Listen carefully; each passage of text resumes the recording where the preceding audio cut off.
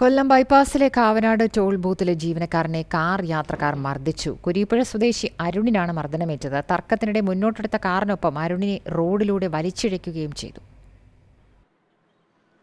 ഇന്നുച്ചയ്ക്ക് രണ്ടരയോട് കൂടിയാണ് കൊല്ലം കാവനാട് ബൈപ്പാസിലെ ടോൾ ബൂത്തിൽ യുവാവിന് ക്രൂരമായി മർദ്ദനമേറ്റത്.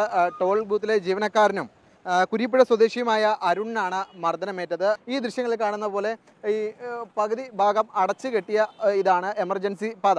ഇതുവഴി കാർ കടക്കാൻ ശ്രമിച്ചതോടുകൂടിയാണ് അരുൺ ആ കാർ തടഞ്ഞത്. അതായത് ആംബുലൻസുകൾ മാത്രമാണ് ഈ ടു വീലർ അല്ലാതെ ത്രീ വീലറുകളും കഴിഞ്ഞുള്ള പിന്നീടുള്ള വാഹനങ്ങൾ കടത്തിവിടുക ഈ ആംബുലൻസുകൾ മാത്രമാണ്. ഇതുവഴി കടക്കാൻ ശ്രമിച്ചപ്പോഴാണ് അരുൺ തടഞ്ഞത്.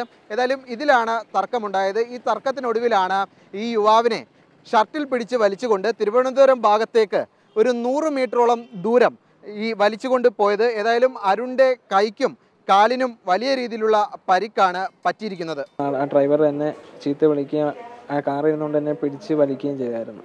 കാറിനകത്തോട്ട് പിടിച്ച് അമക്കി. അങ്ങനെ സൂപ്പർവൈസർ ഓടി വന്നപ്പോഴത്തേക്ക് സൂപ്പർവൈസർ ഓടി വന്നപ്പോഴത്തേക്ക് ഇവൻ കാറിൽ അമ്മയ്ക്ക് ഒരു അടി അടിച്ചിട്ട് ഇവനെ നമുക്ക് കൊണ്ടുവരാമെന്ന് പറഞ്ഞ് കൂടെ ഇരുന്ന ആളത്ത് ഇവനെ നമുക്ക് കൊണ്ടുവരാമെന്ന് പറഞ്ഞ് ഷർട്ട് കുത്തി പിടിച്ച് വലിച്ചുകൊണ്ട് അങ്ങ് പോയി.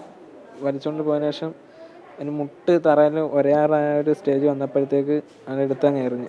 കെ എൽ ഇരുപത്താറ് എഫ് തൊണ്ണൂറ്റി തൊണ്ണൂറ്റിമൂന്ന് തൊണ്ണൂറ്റേഴ് എന്ന കാറാണ് ഈ യുവാവിനെ വലിച്ചുകൊണ്ട് പോയത് എന്ന് തിരിച്ചറിഞ്ഞിട്ടുണ്ട്. ഈ കാർ ഒഴിച്ചിരുന്നവരെ കണ്ടെത്താനുള്ള ശ്രമമാണ് ഇപ്പോൾ പോലീസ് നടത്തുന്നത്.